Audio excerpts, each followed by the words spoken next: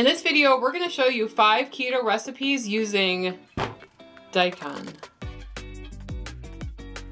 So a little bit ago, Sarah purchased about 500 pounds of daikon from her grocery store and handed half of them to me and said, here, do something with this. And I said, okay. So in this video, we're gonna go over five ways that we've used this vegetable. And it's a very versatile vegetable if you're looking to replace potatoes on keto. How well? Well, that will vary. Yeah. But before we get into it, we're gonna talk about seed who is the sponsor of this video. Sarah and I have been keto since 2019, and that was the first time in our lives that we actually prioritized our health. And prioritizing our health means prioritizing our gut health, and that's where seed comes in. Ever since we started taking seed regularly, we have definitely seen improvements in our digestion and bloating. DS-01 is formulated with 24 strains of bacteria that support your gut, skin, and heart health. And all of these 24 strains have been both clinically and scientifically studied. And if you didn't know, the journey for these bacteria is actually a hostile one because you have tons of acids and bile salts in your stomach. But because of seed's ViaCap capsule in capsule design, it protects the bacteria inside, allowing them to reach your colon alive. Seed comes in a beautiful glass storage container that you can keep at home. It does not have to be refrigerated. And it also comes with a glass travel vial for on the go. So click the link in our description and use code KETOTWINS25 and you're gonna get 25% off of seed.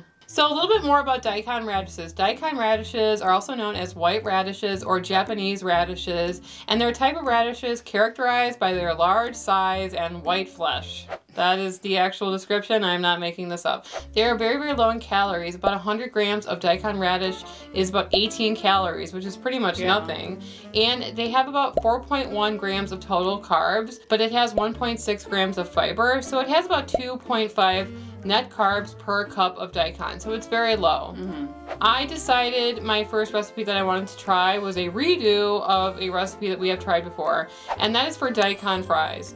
And I figured since I now have a new air fryer at home that I wanted to try air fryer daikon fries because I thought this has got to be the time where I can get a crispy daikon. Because we have tried daikon fries in the past, but they were just kind of floppity and soft. And that's not what I'm looking for. So what I did was I cut the daikon into matchstick sized fries. They're actually large. And then I put them in a bowl with a bunch of salt on it and I left it for about 45 minutes covered and then you can start to see the water kind of draining out of the daikon to the bottom of the bowl. But I wanted to make extra sure that it was, uh, most of the water was out of the daikon. So I ended up laying them out on paper towel and I thought for sure these are gonna be crispy, they're gonna be crunchy, they're gonna be daikon fries. I sprayed them with oil and a bunch of seasoning and I placed them carefully on a pan and I stuck it in the air fryer at 400 degrees because I figured that was what the recipe said. And I figured at that heat, it's gotta be crispy and crunchy. Mm. So about five minutes later, I took them out and I flipped them painstakingly, which took forever.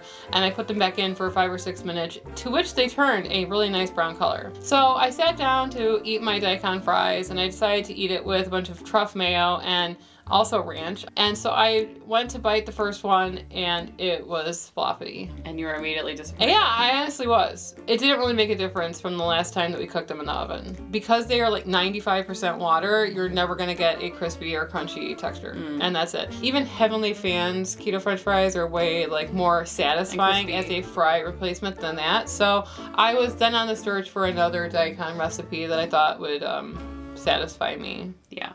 Well, um, for my recipe, I actually made a soup that I make all the time in the winter. Um, I normally use cauliflower in the soup, but I decided to switch it up and use daikon as the potato or element, if you will.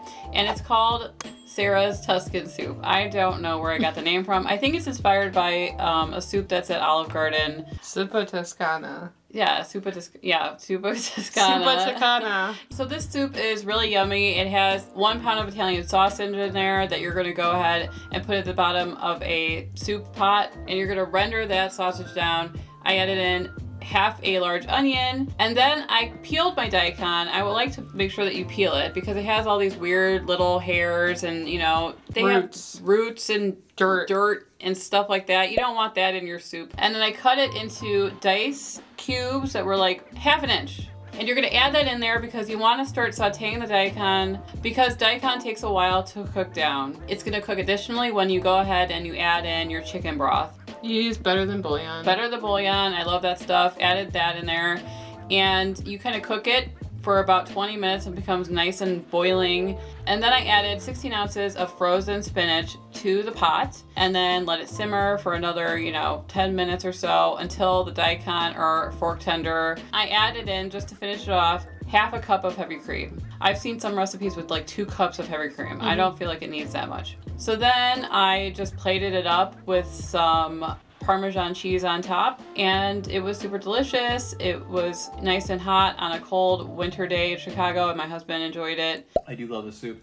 I definitely think it was a great addition to the soup, and it's the perfect like potato replacement um, for this recipe.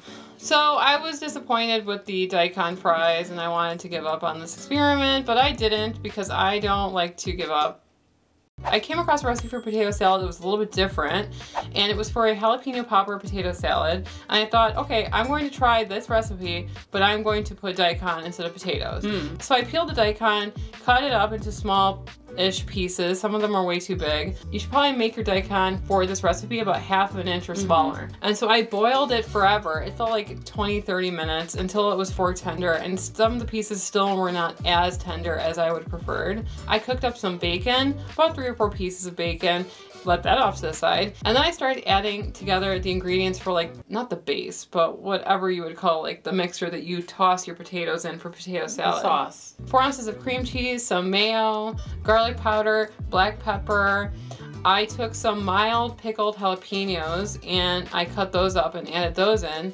And then I added in the daikon that was draining off to the side. I tossed that in.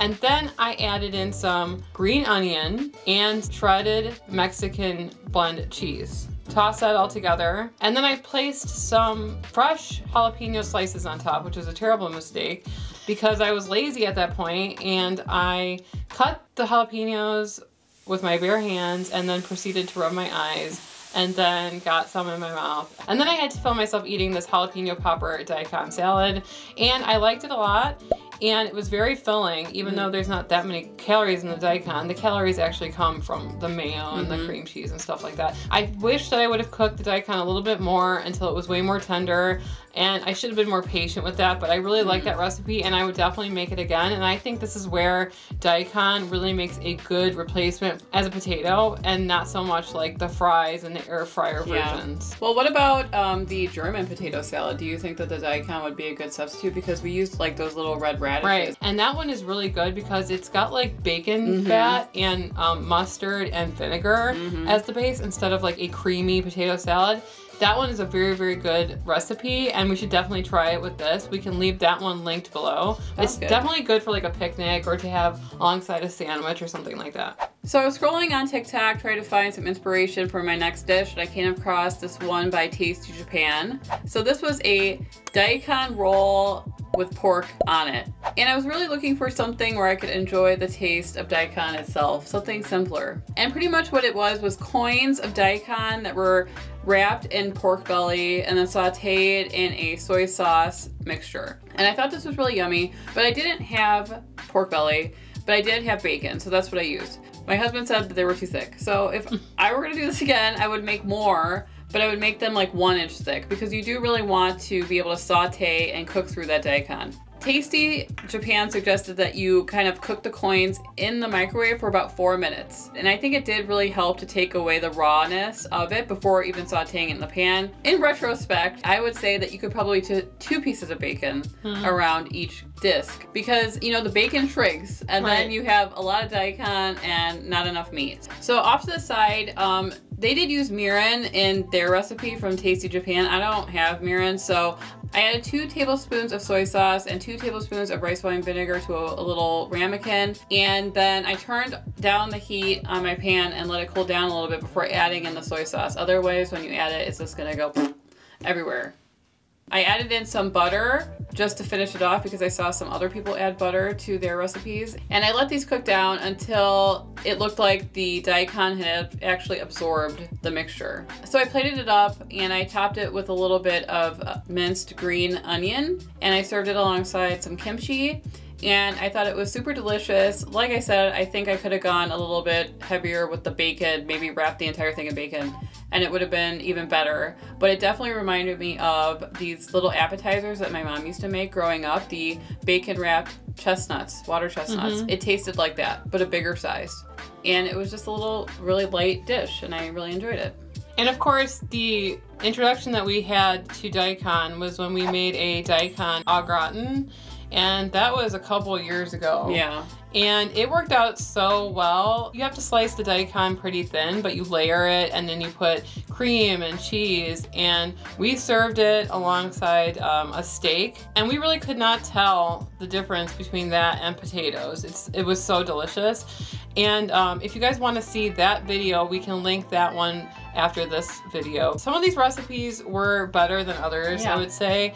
But I would say if you're looking for a potato replacement as a stew or in a casserole, then daikon is going to be the best choice for you rather than using like little radishes because this is the perfect vehicle for that type of thing.